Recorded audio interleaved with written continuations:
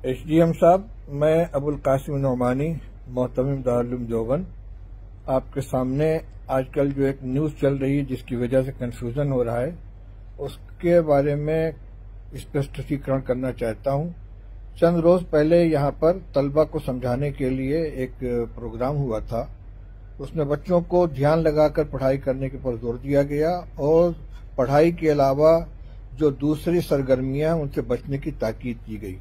उसी सिलसिले में यह भी कहा गया कि दारूम का जो कोर्स है, उसमें पूरा वक्त दें तैयारी करें और ध्यान लगाकर पढ़ें।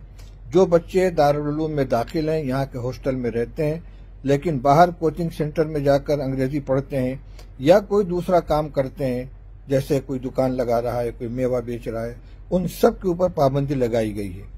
उसी खबर को इस अंदाज से पेश किया गया जिससे मालूम होता है कि दारूम में अंग्रेज़ी पढ़ाने पर पाबंदी, हालाँकि ऐसा नहीं है। खुद दारूम में अंग्रेज़ी पढ़ाने का एक विभाग है। तीन इस उसमें काम कर रहे हैं। बीस बीस तलबा दोनों साल में पढ़ रहे हैं और यहाँ से पढ़ने वाले बच्चे बहुत अच्छी अंग्रेज़ी सीख कर जाते हैं।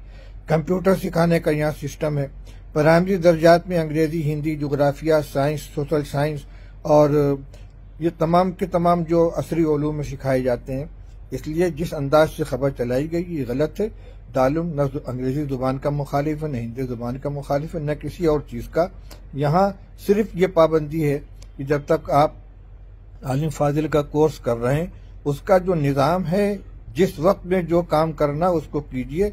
आप कोचिंग सेंटर में या किसी ट्यूशन में जाकर अपना वक्त बर्बाद न कीजिए।